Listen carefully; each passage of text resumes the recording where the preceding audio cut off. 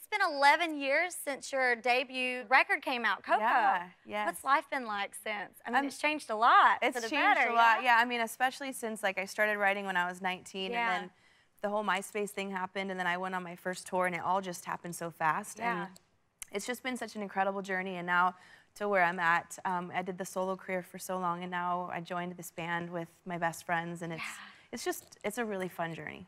I love I love that uh, MySpace was a big outlet for you to, with, with your success. and you're like one of the OGs that like put their stuff out there on, on a social media outlet Yeah. and, and got discovered pretty much. Well, what's crazy about it is I had just written these songs with my friend Jason, and my our, my other friend from high school put the songs up on MySpace, which I didn't even know what it was. Yeah. And because of that, I got offered a record deal and went on tour that next summer. Like it was the amazing. That's pretty biggest quick. It just really happened so fast. it, I wasn't prepared for it at all. I had stage fright. Like I didn't even know what to expect. But Really?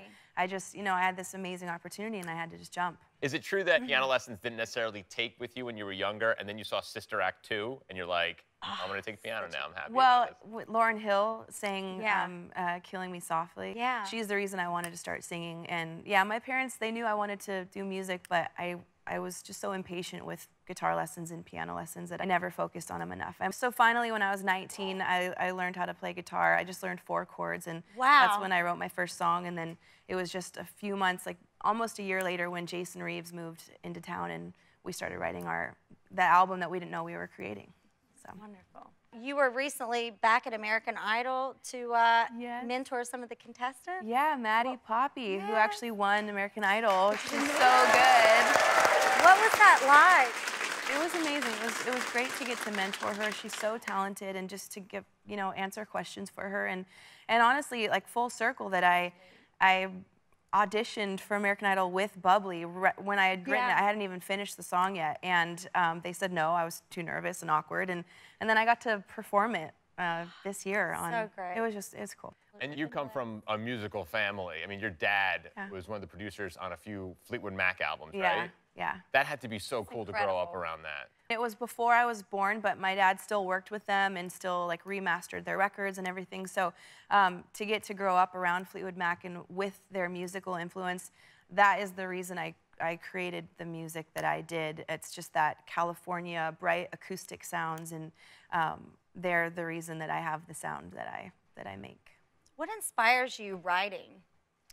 Everyday life and um, you know relationships love Mm-hmm. heartbreak and especially with our band um, it's it's funny we're we're two happy couples but Yeah. a lot of the songs that we're writing are about heartbreak and it's because um, we have a lot of friends around us that are going through heartbreak and so You can pull you- inspiration yeah from them. and yeah. and send the message out to them what they would want to hear Tell us about your band, Gone West. okay so um, so, well i guess i can talk when they come out more about like how we all met They're coming out. They're coming out here, They're right? here? are Let's bring them out, Yeah. right? Y'all please welcome Nelly, Justin, and Jason. Yeah.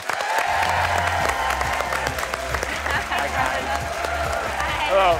We'll give you all air hugs, air high fives. Bye, hi. You and you and Justin are engaged, correct? yes this is my fiance justin That's awesome. Thank So you. wonderful. That's Yeah. great. And Jason and Nelly, they're married. Oh, that's Y'all are already hitched. Yeah. Six and a half years in. So great. So did you you and you and Justin collaborated before you collaborated? really? Musically. yes. Prior. Okay, so so here's how it started. Back in 2005, Jason moved out to California. We uh-huh. wrote my album Coco. And then in 2007, I had to go on tour with the Goo Goo Dolls and Lifehouse, and I put my band together. And Justin's a famous Hawaiian musician, so I was a fan of his music, and we had met recently in LA. So he joined my band, and we got to tour together for years. And it took about two and a half years before we fell in love and started Yeah. dating.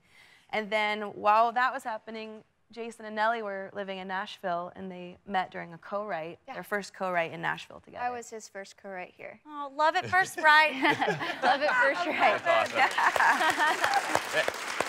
And Justin, you're you're no joke. You're talking about Hawaii. You have like 11 number one singles like Hawaii in Hawaii or something like that. Like you're you're big Yes. stuff.